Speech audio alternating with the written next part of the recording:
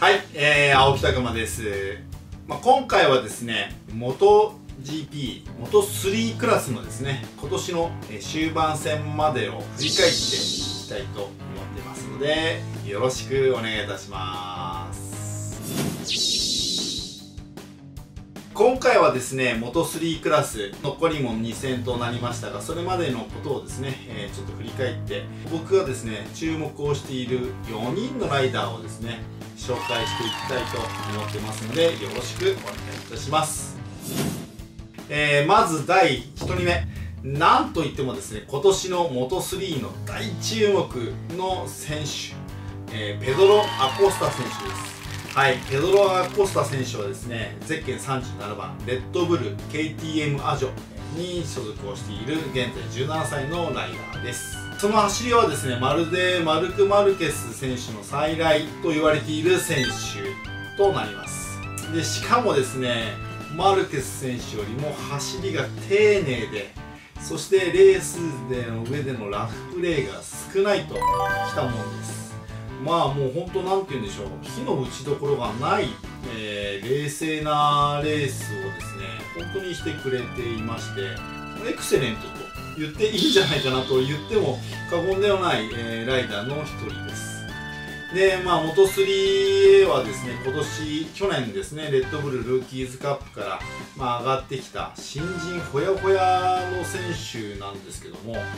まあ年齢は若干16歳で、まあ、元 3A で、まあ、現在17歳になってきましたがレースのコントロールピカイチですね。まるでもう何年もシールチャンピオンを取った選手のような落ち着いたレース運びをするほどでもですねパドックでも彼の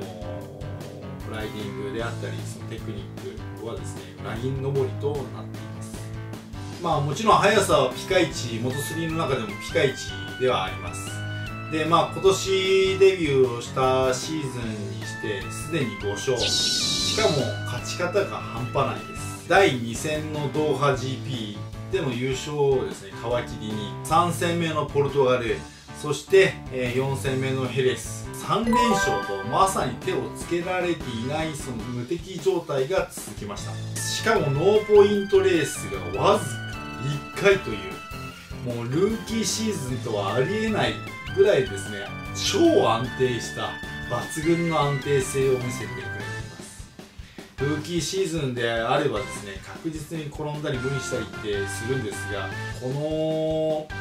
アコストに関してはですねそういった途中でレースを投げ出すとかそういった無理をしてるっていうシーンはほとんどありませんでした。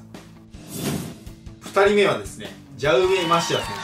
手。ゼッケン5番。レッドブル KTM アジョ。からですね参戦している21歳になります。コスター選手と同じチームメイトというふうになりますが逆に言うと、まあ、アコスタ選手のチームメイトというよりもマシアのチームメイトがアコスタというふうな、まあ、年功序列だとそういうふうな形になるんですが本当に立場が逆転をしてしまっている状態になっています。すっかりですねアコスタ選手のですね影に隠れてしまったことはですね否めないかなというふうに思ってます。元3クラスでですね、えーもうすでに5年目でですね今年の開幕戦のカタール GP ではですね、えー優勝を飾っているんですがまあ、ドーハの GP 以降ですね、その今年のアコスタ選手のですね、速さに手をつけられずにいて、まあ、今まで自分が走ってきたリズムをことごとく崩されていてしまって、まあ、リズムが狂ってその成績が何をしてもなんか裏目に出てしまっていたということがですね目につきました。そしてですねカタール GP 以降はですねその自分のペースを崩れたペースをですね取り戻せずやっと表彰台に戻ってきたのはですね6戦目のイタリアムジェロの2位だというふうになってます。3人目になります。3人目はデニス・ポッジャ選手です彼はですねイタリア人でレオパードレーシング、まあ、ホンダの車両から出ている20歳の選手です、まあ、今シーズンでですね元3クラスは5年目の選手になります。でゼッケンは7番。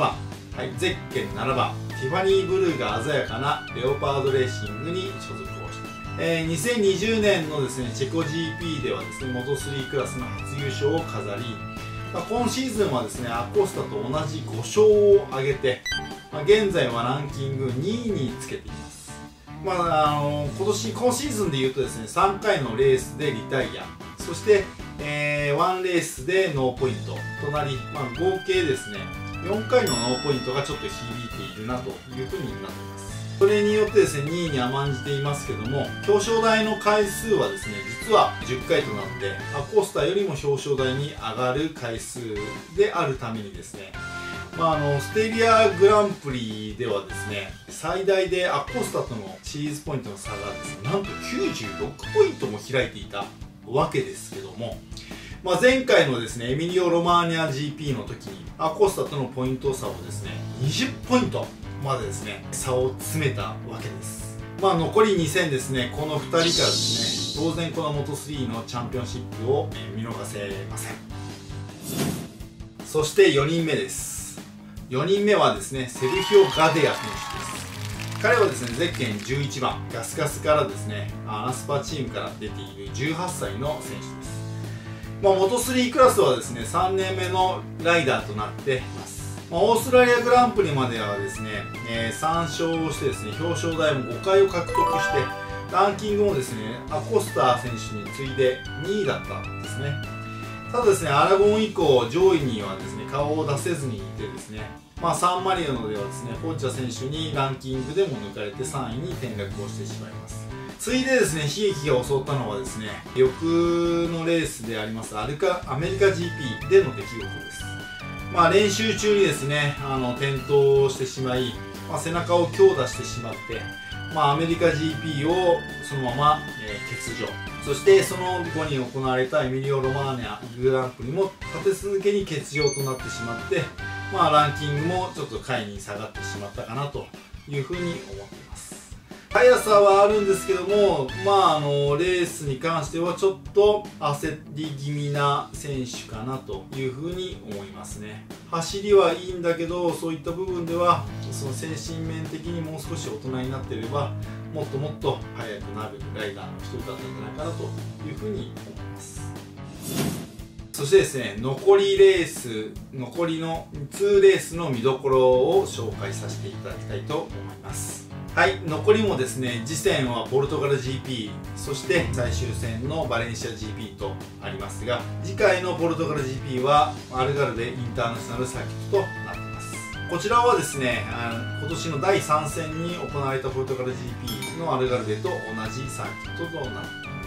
まあ、ついにですね、元3クラス大手をかけているアコスタ選手がついにチャンピオンの決着がつくか、もしくは最終戦までもつれるか、まあ、そういったところがですね、焦点になってくるかと思います。MotoGP ではですね今回がその2度目になるアルガルベ GP となって第3戦をですね制しているランキングトップのゼッケン37番アコスタ選手が最有力の優勝候補になるんじゃないかなと思いますしかしですね、ポイントランキングトップという重圧、まあ、プレッシャーがですね、彼本来のですね、ライディングを蝕むことになるんじゃないかなと、まあ、硬くなると言った方がいいんでしょうかね。もし17歳、若干17歳のライダーが、フォト3のルーキーイヤーでチャンピオンになる。もしそういったことが起きますと、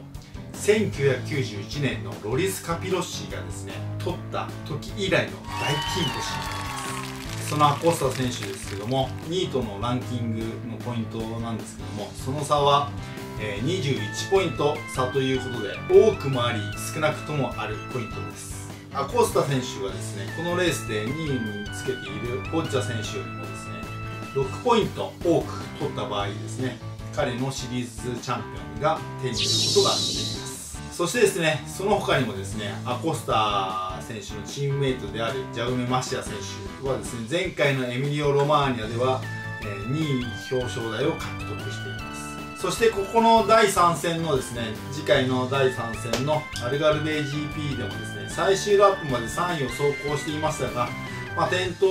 してしまいながらも復帰して9位というふうに入ってからもですね彼もですね十分にその表彰台そして優勝に入ってくることはですね間違いないだろうなというふうに思います。そしてですね日本人選手もですね注目したい選手がいます。佐々木歩夢選手です。ゼッケン71番の佐々木歩夢選手です。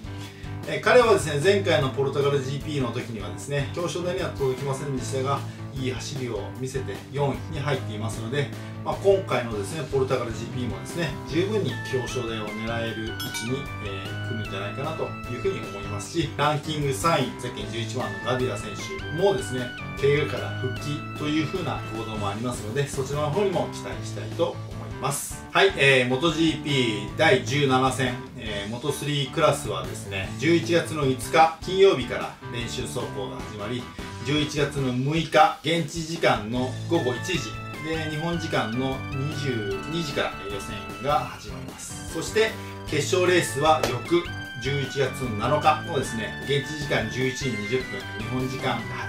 時20分よりですね決勝レースが始まります。今回はですね変則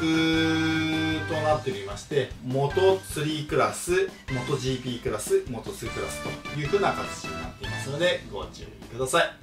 えー、それではですね今回のこの動画がですね面白かったなと思った方はですねぜひいいねボタンを押してください。そしてチャンネル登録もよろしくお願いします。